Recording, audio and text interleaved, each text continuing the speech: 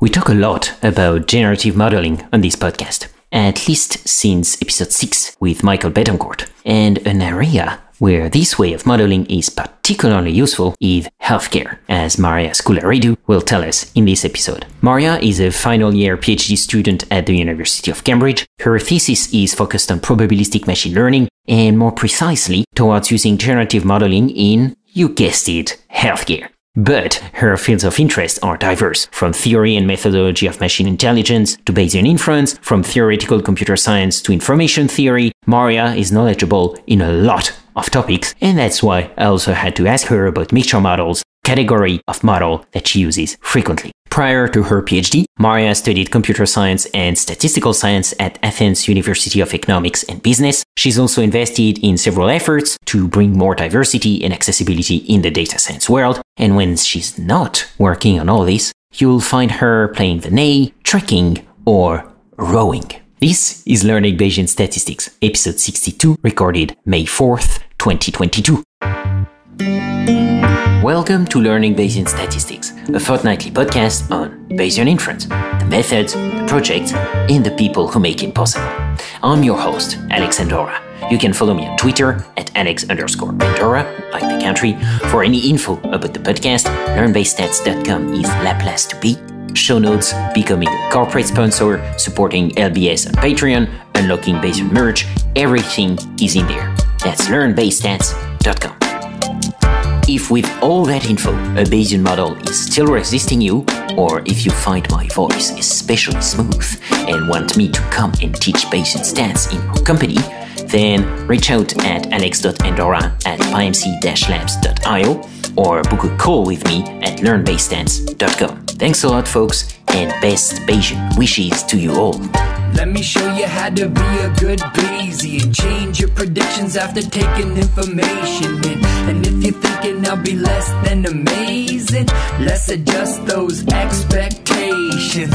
What's a Bayesian? Is someone who cares about evidence and doesn't jump to assumptions based on intuitions and prejudice. A Bayesian makes predictions on the best available info and adjusts the probability, cause every belief is provisional. And when I kick a flow, mostly I'm watching eyes widen, maybe cause my likeness lowers expectations of tight rhyming. How would I know unless I'm rhyming in front of a bunch of blind men dropping placebo controlled science like I'm Richard Feynman? Hello, my dear Bayesians. Today I have the pleasure of welcoming Janine Su to the LBS family. Janine has subscribed to the brand new Good Bayesian tier on the LBS Patreon, which means that in three months you will get a very special merch item delivered right to your door, Janine.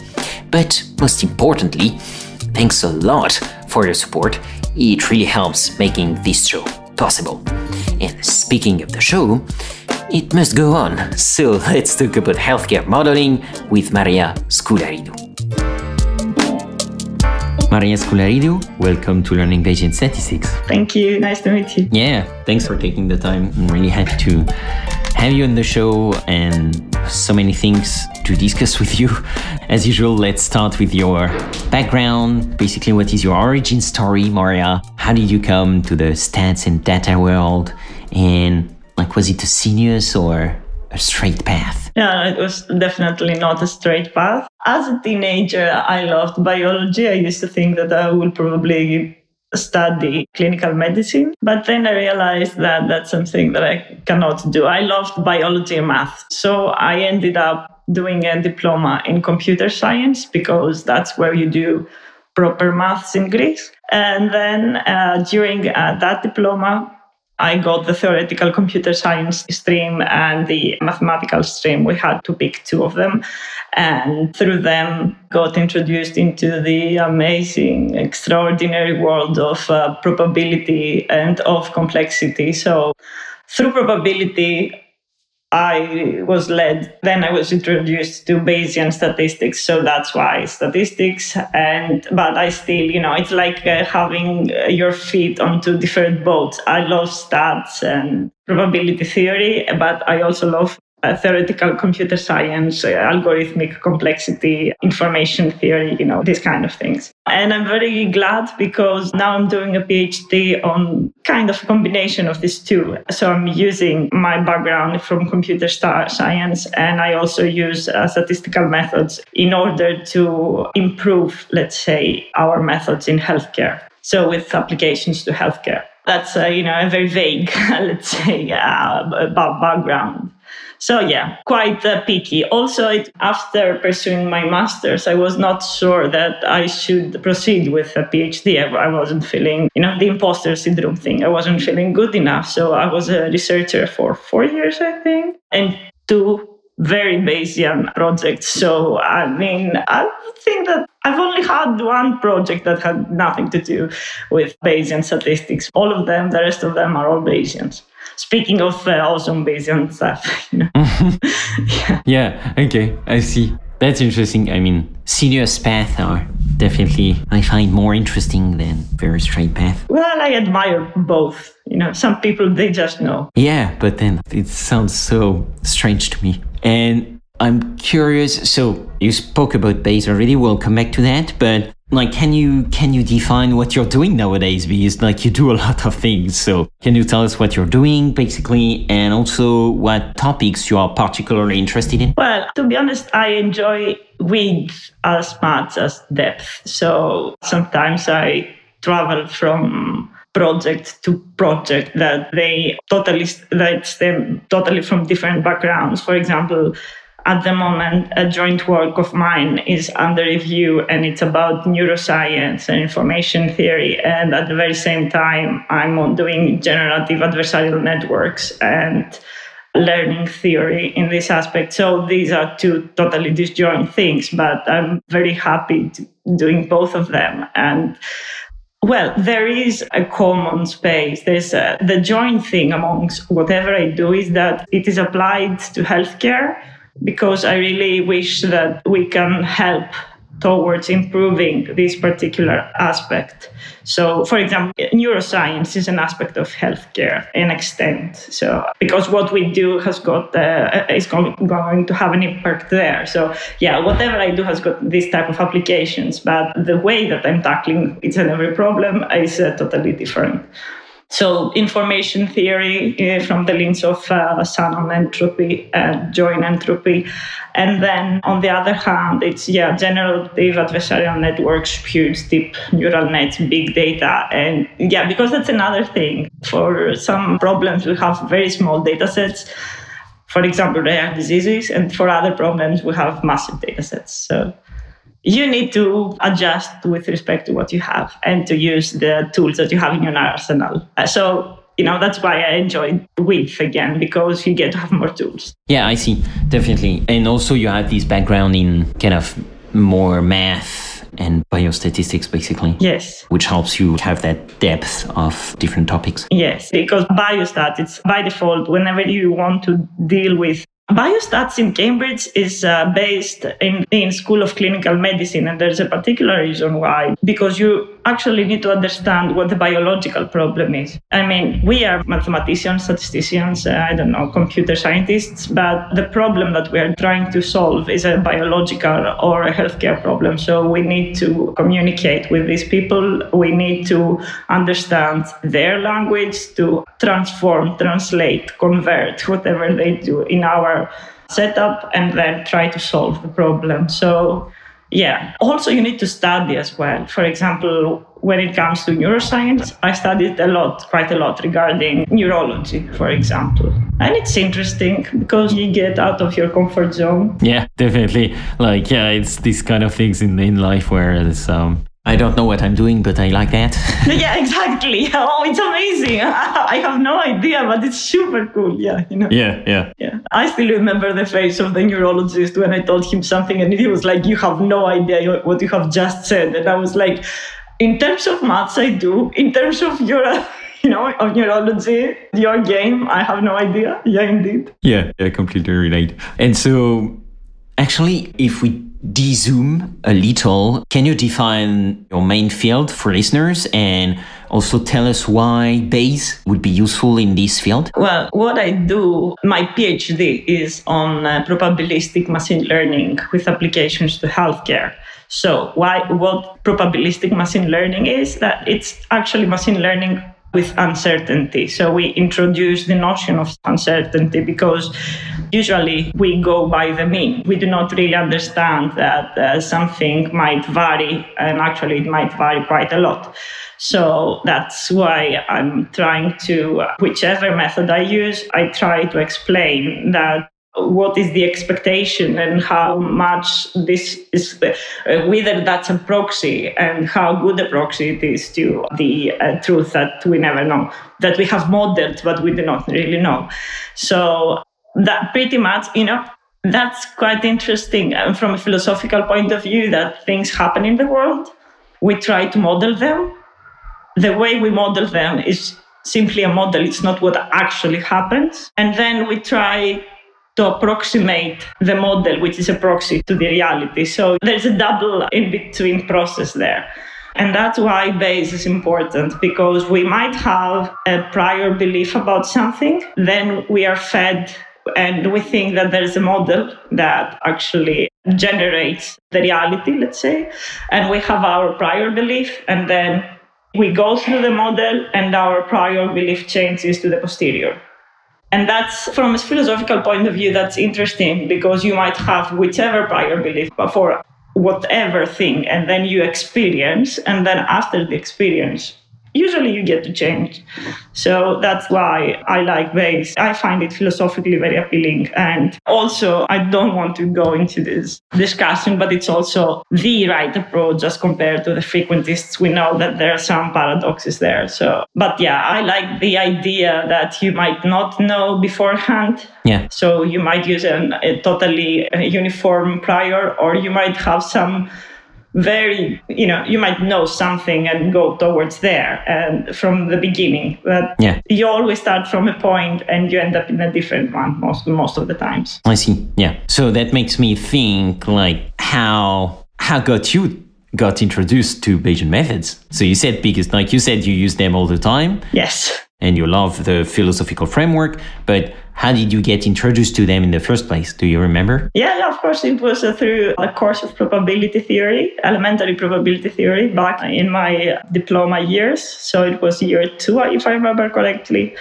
And at the beginning, we had probability and combinatorics at the beginning of the course, and then it was Bayesian theory. So it was, you know, you, you can understand. It was a great fit, and it was also quite, the introduction was amazing. And the fact that, for example, this, the instructor, he was very passionate also about uh, Bayesian methods. And he just used a very simple example of, for example, you know, uh, people use condoms, but do you actually know with what probability the condom is going to uh, not to work? And that really got people's attention, and they were like, "Whoa, we need to we need to attend this course because uh, if you calculate uh, the prior of uh, having a mis- of uh, an error and the prior of and then the fact the conditional probability that what you use is actually not the right material, then it turns out to a different probability as compared to the one given in the box. So that got people interested. Yeah. I was one of them, uh, not because of this example, but yeah. yeah. And then he explained uh, several other things like how important statistics is and stuff like that. So after this course, I was totally into stats. So sometimes the instructor does play a very, very important role. Yeah, yeah, I can see that. That's actually interesting because you're one of the only guests who have been formally introduced to Bayesian stats during their master curriculum, basically. And it's not that surprising in so far as like you did study probabilistic machine learning. So there is probability in the name. Yes. So once you know that, it's less surprising that you did study that formally but that's still rare and in the sense that it's mainly taught in those very niche curriculum. Yeah. Whereas not like for most of the people not doing that, they are not introduced formally to these kind of tests. So Actually, we were introduced to Bayesian theory uh, not during the master's, but during the diploma. It's not a bachelor, it's four-year diploma of computer science. So that was even, even before that. okay, even before, yeah, even better. Yes. Nice. That's why I got into statistics, and that's why then I did the master's. Nice. Okay, so the path to where you are right now is Senius, but the path to Bayesian stat is actually quite clear and direct, actually. Yeah. Yeah, I see. And in and in comparison, so you use Bayesian stats whenever you can.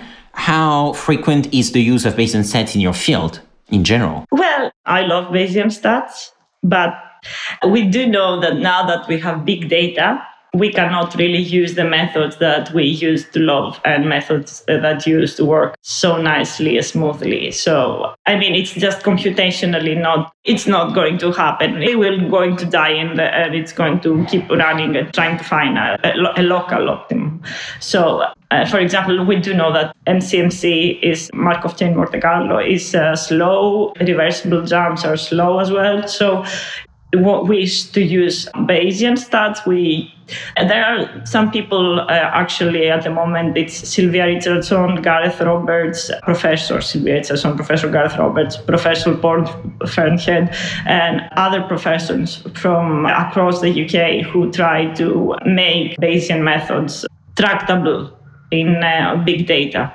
they try to make them scale with respect to big data so that they can uh, actually tackle this kind of problem. So all I guess that all I'm trying to say is that whenever we have small data, we'd rather go with Bayesian methods. Whenever we have big data, we need to adjust and use other type of things.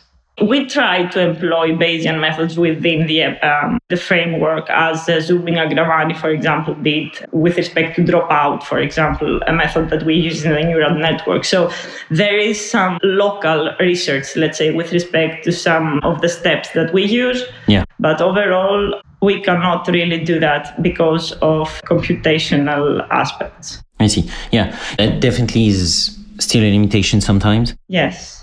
And, and I love them. I mean, I still love them. If I could, I would definitely go for something like that. But I know that the computer will, will never to stop running. Yeah, it's something we work on also quite a lot at PyMC Labs, so the company I work at. And like definitely we've had some huge speed ups now with new development of backends like Numba and Jax and the fact that you can use that in PyMC version 4 like definitely that's more and more doable. And so that's very encouraging to me because like for instance we've had sometimes models in the millions of data points with thousands of parameters and we've managed to feed that with a fully bayesian model. So that's amazing. that's definitely doable yeah. It's less less easy than when you have small data of course. But i think we're getting there and i'm quite confident that it should be easier and easier, especially as those framework interact better with each other, which is also one of the goals of PyMC4. Yeah, I agree so too. I'm very optimistic about Bayesian methods being used in big data as well. I know that Arnaud Doucet has been doing a great work on that as well uh, with uh, I mean, there are methods that you can use. You can keep on uh, getting subsamples of your sample that they are going that they are back with replacement, for example, and uh, make doing things in parallel. So this way, instead of having endpoints, you might have just a very very small subset of that, and then just work in parallel. So in this way, you do get to well, but on the other hand, you get to speed things up. But on the other hand, each method has got, uh, again, need to do the algorithmic complexity analysis and to find the bottleneck. And sometimes the bottlenecks, uh, when it comes to Bayesian statistics, the bottlenecks can be exponential with respect to parameter space. So then you know that you are stuck and that you need to change method, either to improve the actual one. That's why I said that MCMC cannot really work with uh, many parameters or or with many observations. I mean, it can, but uh, yeah, it, depends. like, it's like, but it's more intricate. Yeah, like definitely the example I gave was with full MCMC, but it's more. It's still like let's say it's at the frontier of the development of these methods, so the uncertainty is higher. Yes, you see uncertainty. But I think it, it is getting smaller. Yes. There have been some improvements. Yeah. And so I'm curious, like, what type of, like, in which field or kind of projects do you mainly have big data, and in which fields and kind of project you mainly have small data? Are those like very different, or like is it pretty like you cannot really make that kind of categorization? Well, the, in the UK, we've got the UK Biobank,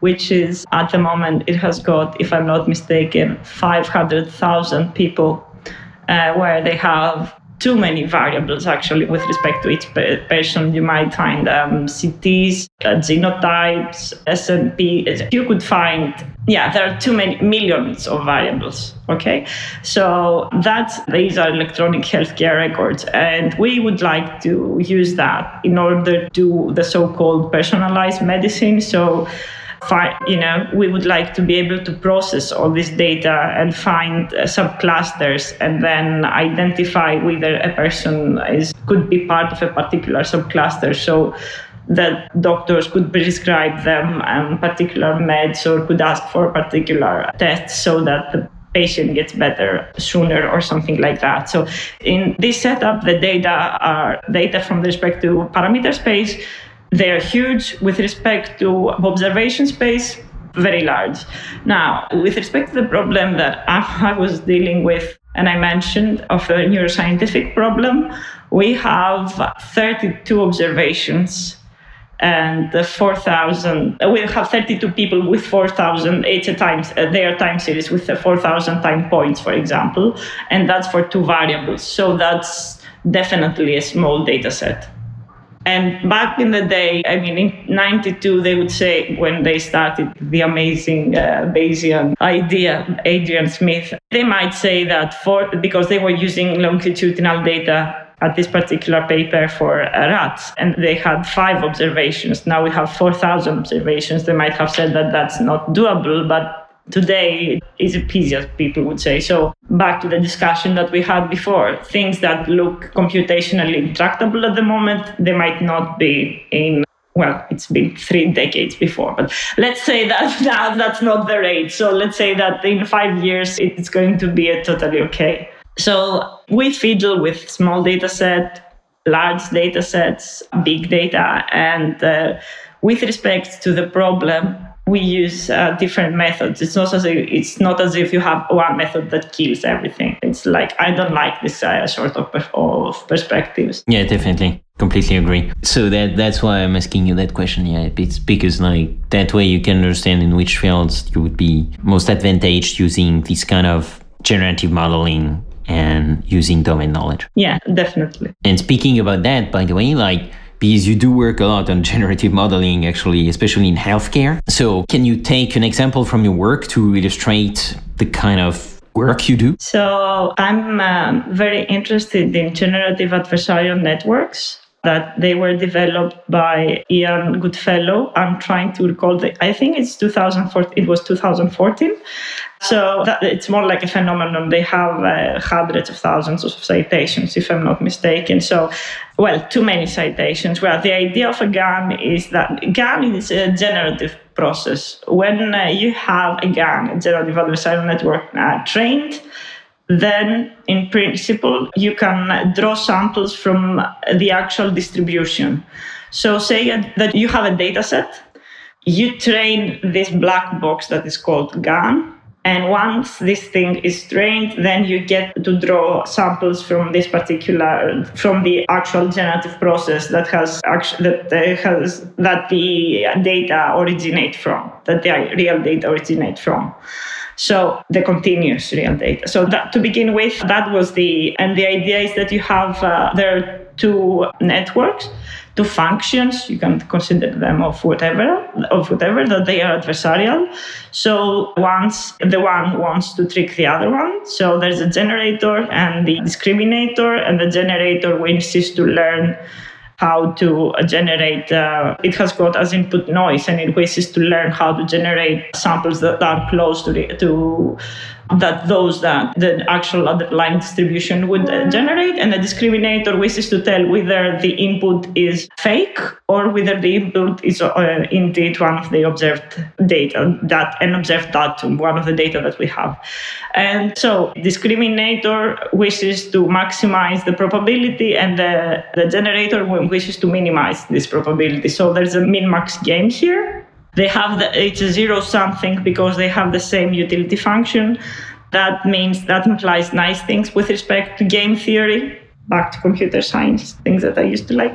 And so now I'm in this uh, nice position that I can fiddle again with uh, my background. I wish to employ the generative adversarial networks. Well, generative adversarial networks have been used mostly for images and for videos for this type of data. So they've been using nice neural nets like uh, the convolutional neural net most of the times. And then when it gets to video, RNNs. So um, a couple of years ago, together with Lei Xu and other fellows from MIT, then we developed a GAN, a generative adversarial network, that can actually take as input tabular data, i.e., data that can be either continuous or discrete and still generate something. Because when you generate images you can start drawing things and tell whether your samples looks like an image or not right? You use uh, the visual fidelity as a measure of evaluation.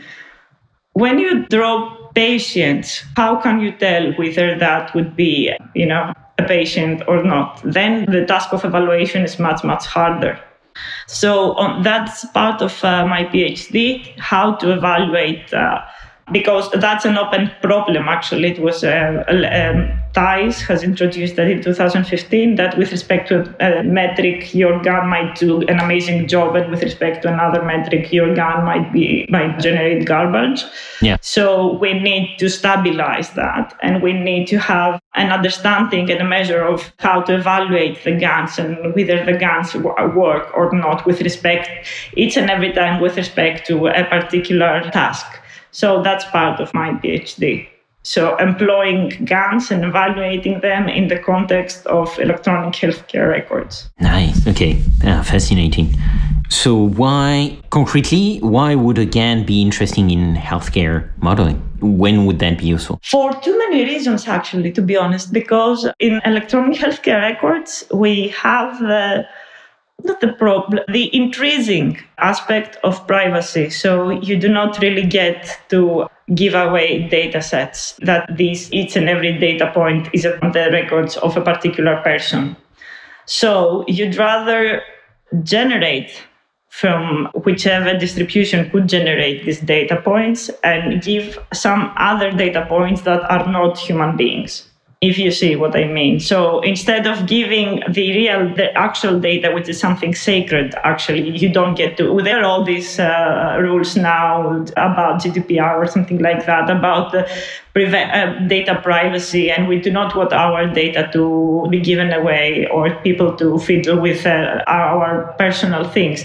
Instead of doing that, we train a model and we generate data and no one touches the actual data set, but they can have access to the simulated ones. I see. So that's one of the reasons, yeah. Okay. But then is the model used for diagnostics or things like that? Or it's only on these kind of simulated data? No, no, that's one, just one aspect. I'm just saying that a person could use them, could use that instead of using an actual data set. Another thing is that when, especially in statistics, we have this amazing huge gap. So we develop a model. When we want to test that, we simulate from the moment from the model. We gen- uh, so we generate data with respect to the model, and we test the model. So it's like a self-fulfilling prophecy. And then we try to we try to fit the model to the real data, and everything falls apart because the simulated data and the real data are so far away. So another thing that GANs could be useful for is that to, to generate data that are closer to reality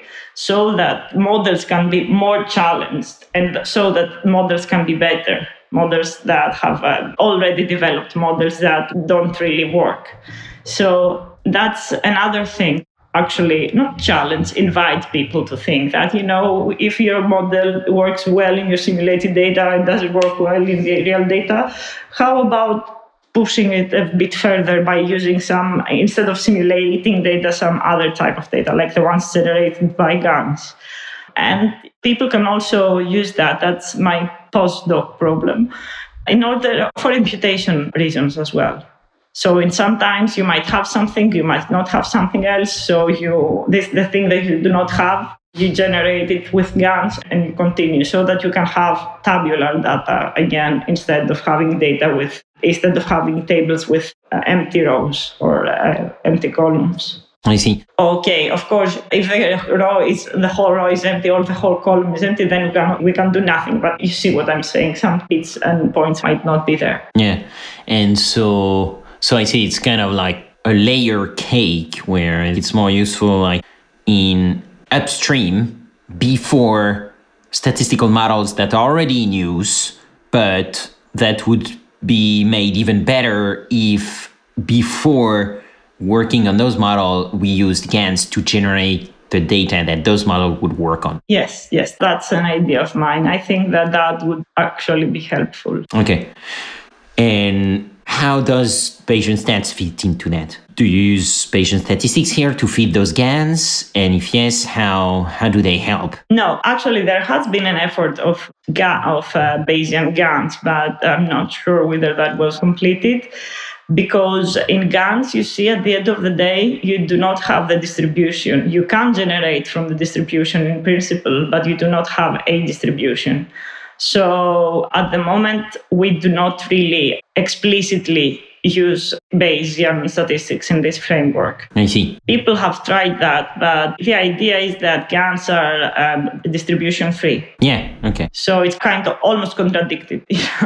but one could do that, but I don't know. It's like using a totally different thing, totally different tool. I see. So yeah, that's interesting because I never covered GANs on the on the podcast. And if we go back to the Bayesian framework, I know you also work quite a lot on Bayesian mixtures. So we did speak a bit about that already on the podcast, but not a lot. So can you tell us what mixture models are? And what their strengths are, what their weaknesses are. Okay, so my supervisor is Sylvia Richardson. Sylvia, together with colleagues of her, had developed actually the first Bayesian mixture uh, model, right? Using um, reversible jump MCMC. But that was a univariate, that was only for one variable. Then uh, my master's supervisor, Petros Dellaportas, the colleague of her, of his, sorry, had developed how to use Bayesian uh, mixture models to, for more than one dimension. And they could extend that up to five dimensions because actually there was some closed form things that you had to write them down explicitly. I was part of, I mean, then I checked that problem. So then there are the Dirichlet mixture models that when you are in this space, you have no problem with respect to the variance. So you can be multivariate and you can have several clusters across uh, each and every variable. But you pay that at the on the cost of on a polynomial cost if i remember correctly because i did the algorithmic analysis so in the univariate space our um, reversible jump MCMC is faster as compared to mixture Dirichlet pro- process, but that's only in the univariate space. But once you move to the multivariate space, then you need to rely on the Dirichlet processes. Dirichlet processes, they are great. I mean, the multivariate model. They are great, but they do also have the tendency to create more clusters as compared to reality, for example, if I remember correctly and they were supposed to be quite slow but that's why i've been writing a paper that i had to i need to write up my thesis so I've, it's on pause at the moment but there has been some great advances on the topic by a fellow named Chang, who actually developed a very, very fast multivariate uh, Dirichlet processes that uh, using Bayesian methods that can actually fit nicely to big data sets. Yeah. So Well, definitely, if you can add those links in the show notes for listeners who are interested, that would be awesome. Hopefully, I will upload also the, the paper on the what and stuff about regarding the, these models because at the beginning, so my supervisor Petros told me just use uh, a method, and I was like, uh, but there are two he told me use one of them and i could not you, you cannot i felt that i cannot randomly select there has to be the best one i need to use the best one so i started comparing uh, the pros and cons of Sylvia's method, let's call it Sylvia's method. And the other guy, actually, I think it was uh, Gareth Roberts and Omiros Papaspiliopoulos. So there were very sophisticated statisticians around the methods that they were developed back in the day. But that started in 2000. Then there were some developments in 2003, 2006. And then I think that people stopped worrying about that at 2010, I think if I'm not mistaken. I mean, I'm, I have not seen a new method. I've seen people using or a bit, updating a bit the old methods, but not actually. Yeah, it's less fancy. Yeah, I guess that now people have jumped to, yeah. to other topics, but it's not as if the topic is dead, right? no, no, no, no. But I mean, science has its fashion. Yeah, yeah. Now it's not trendy. Yeah, exactly. I mean, even general relativity, like, it was a big thing when it was out, and then for couple of years, not a lot of people paid attention to it until I think until the 50s or something like that. So yes, indeed. Definitely, there is fashion in science, whereas we often oppose the two. Yeah, but there are also old laws, right? Old habits die hard. So if you like something, you're. Go- I mean, I will never give up on MCMC. That I know. I can do whatever, but I will definitely keep on trying to employ them sometimes, just to, you know. Well, that's great to hear. And so, yeah, to make that clear for listeners, so what you were talking about, so Dirichlet processes, they are generalization to an infinite number of mixtures, right? Yes. So mixture models is like you've got a mixture of distributions. So instead of having a likelihood which is just a normal, for instance, you have several normals. The finite case is like, oh yeah, I see there are five clusters in the data, but I don't know exactly where they are, but I'm going to try to fit those five clusters. Some normal distributions, yeah, but so that would be like a mixture of normals. And then you have the infinite case, which would be like, I know I have several clusters in the data, but I don't know exactly how many. So I'm not only going to infer the different clusters in the population, I'm going to also infer how many clusters there are. And you do that with Dirichlet processes. Yes. Okay. Did I make any mistake here, or was that clear enough and accurate enough? No, no, it was clear enough. And you know, use the delta Dirac uh, distribution, and then the, the, the point masses. I mean, I just tried not to you know, I could write the math. So the idea is that you can actually start with a prior on the number of clusters, and then you can yeah. end up with a posterior on the number of clusters. And that can happen, if I'm not mistaken, to both things, both to, with respect, just because they use the reversible jump, they have birth and death status. So they can use the birth of a new cluster, and if this cluster stays empty for too long, then with some probability they can kill this cluster and start a new one someone else. So that can happen. In principle, the number of clusters can be infinite uh, there as well.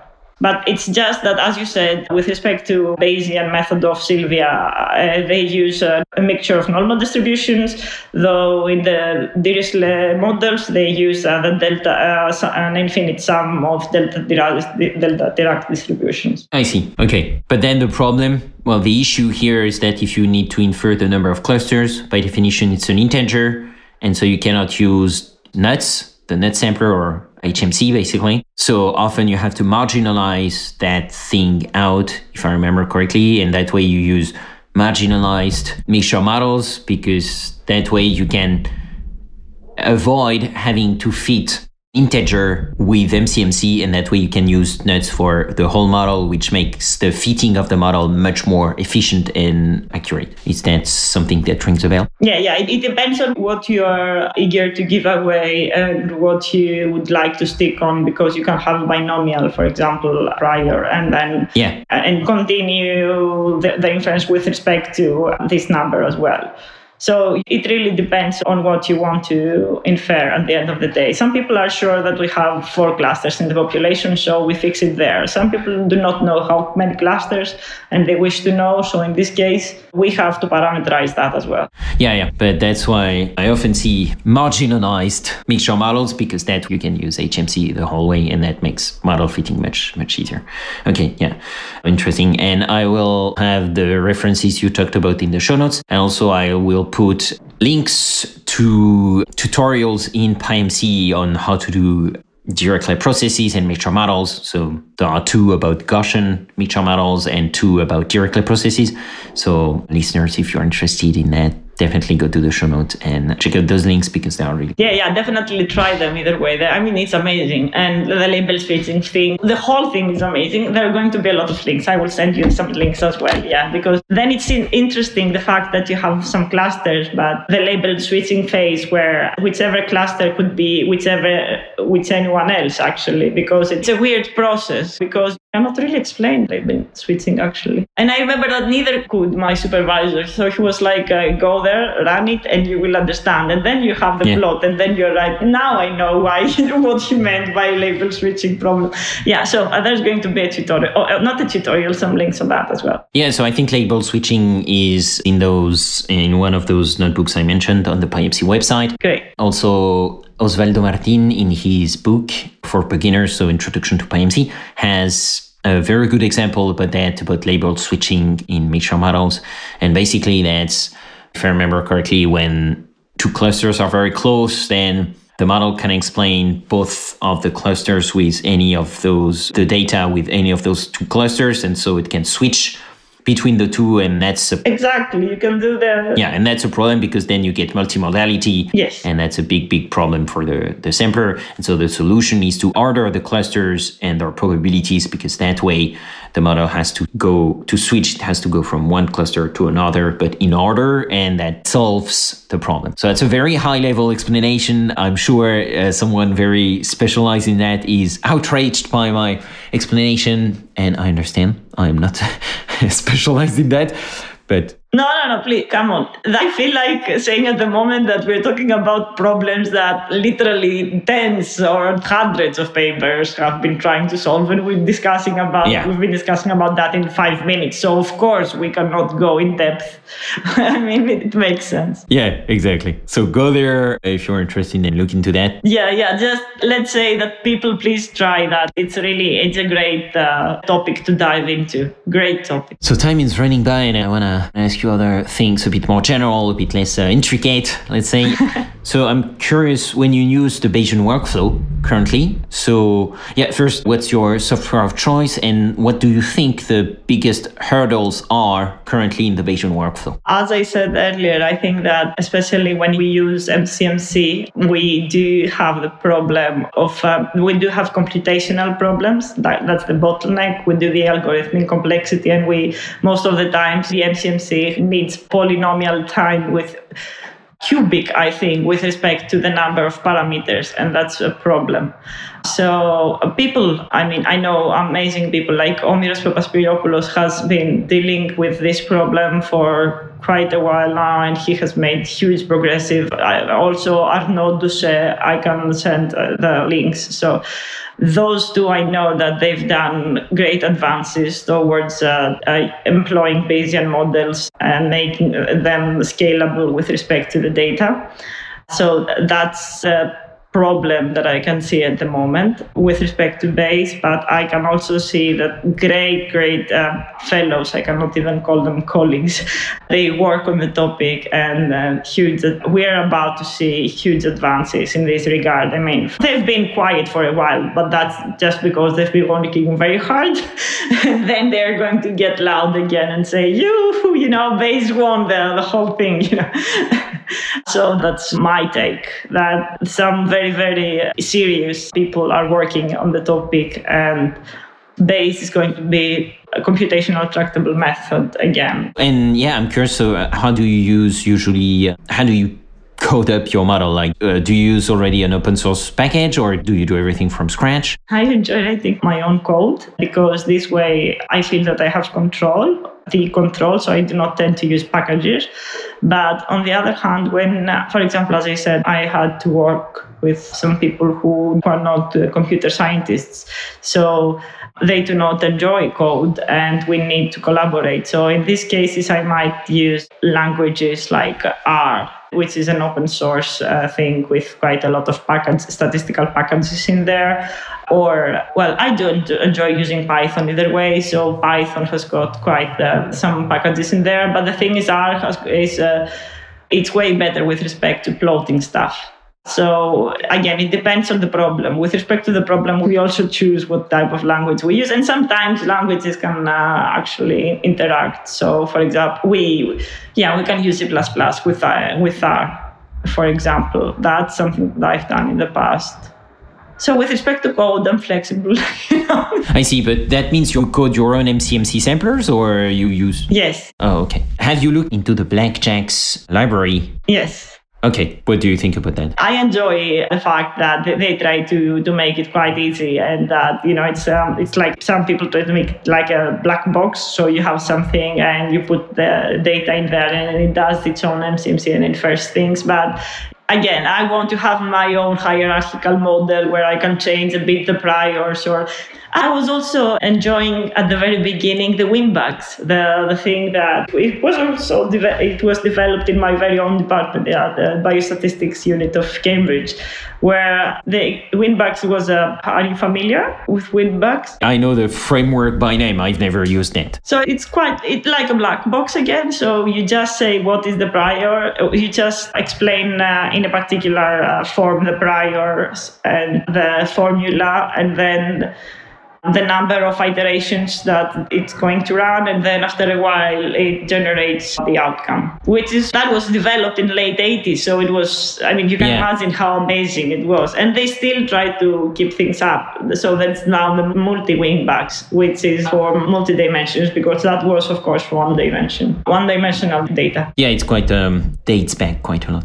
And actually, yeah, so like just to mention BlackJAX again, because I just mentioned that on the fly. So for listeners, uh, Blackjacks is basically it's a library of samplers for JAX that works on the CPU and on the GPU, and it's designed with two categories of users in mind. Let's say, so that would be like people who just need state of the art samplers that are fast and robust and well tested. So that would be NUTS, HMC, things like that. That you also have in PyMC, in Stan, etc. But let's say that you need a very like you cannot use a common probability programming language like PyMC. Well, then you could use, but you still need an MCMC sampler. Instead of coding it up yourself again, you can plug the BlackJAX NUTS sampler into your custom PPL, let's say. And there is another category which would be much more like you, uh, Maria, which are researchers who can use the library's building blocks to design new algorithm.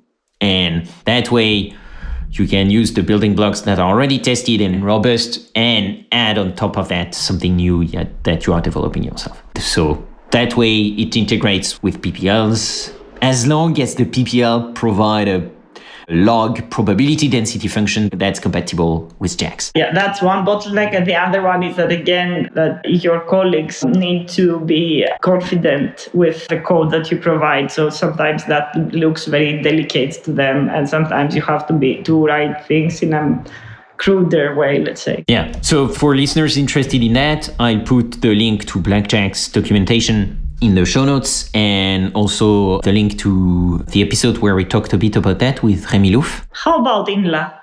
Have you tried INLA as well? I have never tried INLA, but indeed I will link to the note. And that's another it, That's another thing though, right? That's- another topic. Yeah. yeah, that's like it's not using MCMC at all, right? It's approxim. Well, yeah, MCMC is approximation too, but yes. it's another type of approximation, right? Yes, exactly. Okay. Integrated nested approxi- uh, Laplace um, approximation. Right, exactly. Yeah, that's definitely super interesting. It's actually a. I should do an episode about INLA actually. Yeah, yeah, yeah. Great. If you have some guest recommendations, Definitely. Yeah, actually, the author.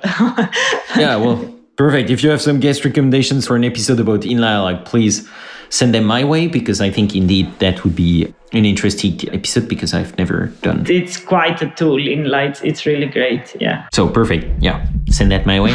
Uh, I will also add also the episode with Rémi Louf, which I think was episode 44, because Rémi is one of the first developers of BlackJAX. And of course, we talked a bit about that in this episode. So if you are interested, go and look for it. Okay, so awesome. Before letting you go, I'd like to ask you, well, what do you think the future of Bayesian stats in your field look like? And more specifically, what would you like to see and not see? I would like to see Bayesian stats to scale well the data, and I would like to see employing doing stuff like well, that's an idea that I'm saying out loud, uh, like a Bayesian variational autoencoder, or just using Bayesian methods in uh, not fancy in the new era of uh, other methods that they're cruder. So, as I said at the beginning, I do probabilistic machine learning. So, I wish them to use Bayesian methods to attach Bayesian methods to the new to the new style of uh, you know the so-called machine learning. So Bayesian GANs, not really. I cannot see that because of the philosophy of GANs, but Bayesian uh, variational coders that I can totally see that happening. For example, and in this case, we are going to use all the nice properties of uh, Bayesian stats and all the nice properties of variational autoencoders. We're going to have the bottlenecks of both as well, but for example, the fact that it's a Kullback-Leibler approximation approximation, and we know that we go for the approximation and not the actual distribution. But yeah, that's the cost that might come. Uh, so, to be honest, I'm optimistic about science. I'm optimistic about research. I'm almost sure that uh, in a couple of years we will be using Bayesian stats again, uh, pretty much everywhere.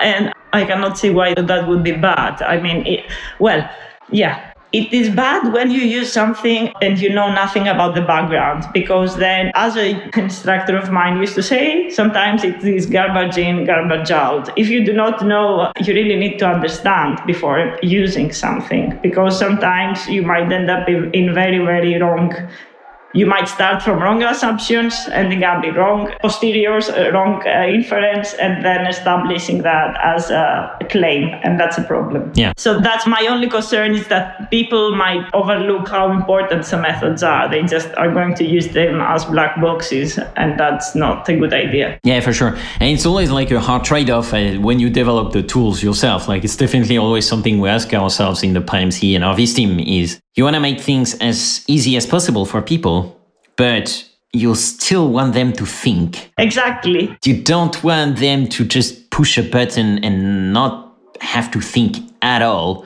But at the same time, forcing people to think makes think make the tool harder to use. But it has to be. Yeah. Yeah, I get you. I, I'm totally there with you because. You see the trade off. It's like. Yes, yes. It's also why are black box machine learning models so prevalent? Yes, because it's the dominating way of doing stats at universities and so on, and the way it is taught.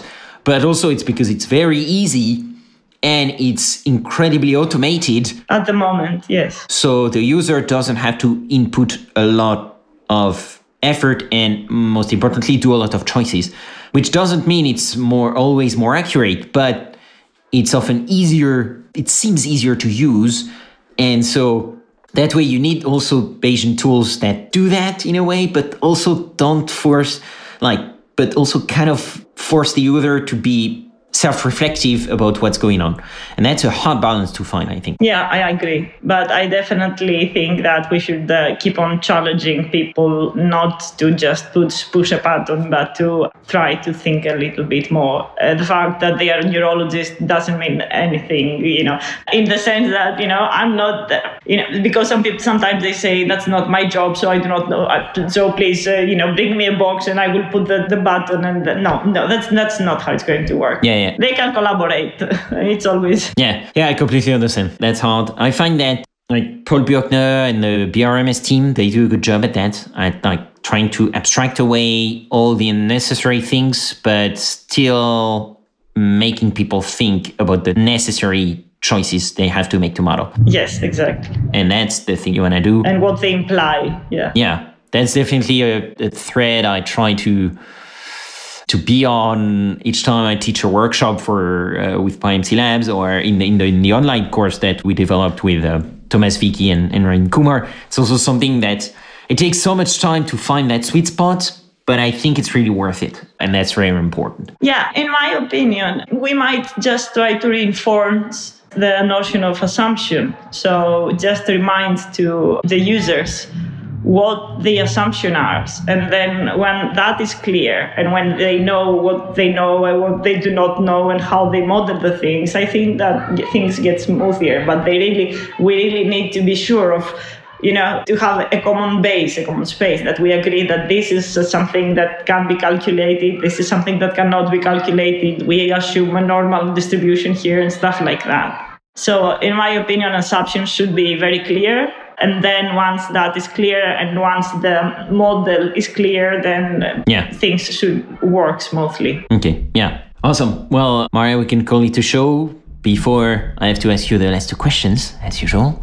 So that was awesome. Thank you very much. I enjoyed it. I learned a lot. So, first question as usual. If you had unlimited time and resources, which problem would you try to solve? I would stick to, the, you know, I would stick to the one I'm working at the moment to make hmm. healthcare accessible from everybody and to make healthcare, and to improve healthcare from my standing point, from my, you know, a computer scientist slash uh, probabilist slash statistician, you know, just so uh, healthcare is the thing that I'm the most interested about. Fascinating for sure. Second question: If you could have dinner with any great scientific mind, dead, alive, or fictional, who would it be? It has to be two.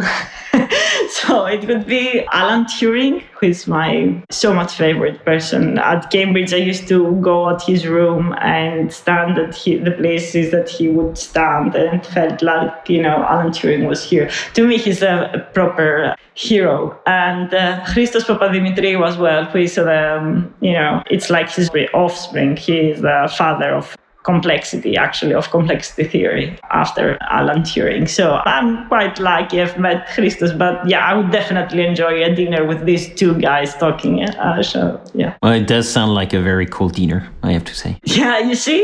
I hope I will be invited. you can join us. yeah. Given that it's fictional, please do come.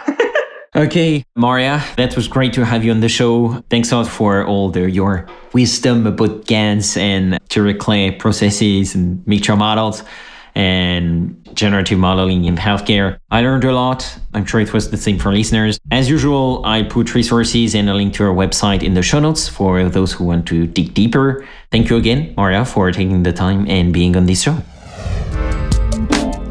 This has been another episode of Learning Bayesian Statistics. Be sure to rate, review, and subscribe to the show on your favorite podcatcher or on Podchaser, and visit learnbayesstats.com for more resources based on today's topics, as well as access to more episodes that will help you reach true Bayesian state of mind. That's learnbayesstats.com. Our theme music is Good Bayesian by Baba Brinkman with MC Lars and Mega Ran. Check out his awesome work at bababrinkman.com. I'm your host, Alex Andorra. You can follow me on Twitter at Alex underscore Andorra, like the country. You can support the show and unlock exclusive benefits by visiting patreon.com slash learnbayesstats. Thanks so much for listening and for your support. You're truly a good Bayesian. Change your predictions after taking information in. And if you're thinking I'll be less than amazing, let's adjust those expectations. Let me show you how to be a good Bayesian. Change calculations after taking fresh data in. Those predictions that your brain is making, let's get them on a solid foundation.